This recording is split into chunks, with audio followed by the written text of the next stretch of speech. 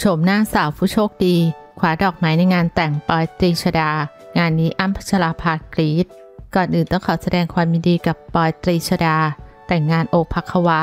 เป็นสะพ้ยหงหยกเต็มตัวแล้ว โดยปอยตรีชดานั้นก็ได้สวมชุดบาบาพร้อมมงกุฎดอกไม้ไหว ซึ่งเป็นงานหัตถศิลป์รวมถึงมงกุฎดอกไม้ไหว ซึ่งเป็นการขึ้นมือจากทองคำแท้ทั้งหมด ทั้งยังสวมใส่เครื่องประดับ ทองคำและเพชรพลอยโบราณ ที่สุดแสนเจริญค่า และช่วงเวลาที่หลายคนรอคอย ก็คือช่วงการโยนช่อดอกไม้ จากเจ้าสาวปอยตรีชดา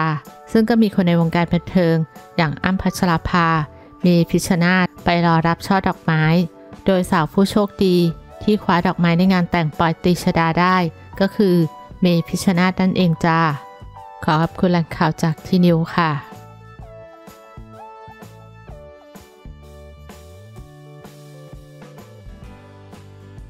และเพื่อไม่ให้พลาดทุกๆข่าวกอสิบดารา อย่าลืมกดติดตามเพื่อรับชมคลิปใหม่ๆทุกวันได้ที่ ช่องดารากอสิบขอบคุณทุกท่านสำหรับการรับชมและติดตามค่ะ